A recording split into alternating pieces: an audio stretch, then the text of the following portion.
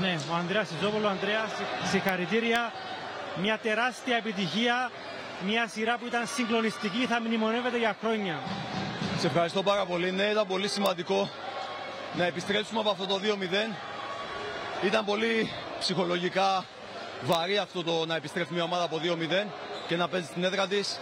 Το είχαμε ξανακάνει όμως, είχαμε υποσχεθεί κάτι στον εαυτό μας ότι με όσα προβλήματα και αν είχαμε, γιατί είχαμε πάρα πολλά προβλήματα με τραυματισμούς σοβαρούς, ε, με αρρώστιες, με θανάτους μέσα στην οικογένειά μας ε, τις τελευταίες στιγμές. Είχαμε πάρα πολλά προβλήματα, αλλά ήρθαμε εδώ ενωμένοι σαν οικογένεια που είμαστε, γιατί μόνο η ΑΕΚ προσφέρει αυτό το πράγμα.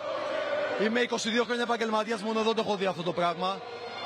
Μας είπανε γέρους, μας είπανε τελειωμένους και δεν θα μειώσω το κεραυνό, δεν μιλάω για αυτή την ομάδα, μιλάω γενικά για το χώρο του μπάσκετ.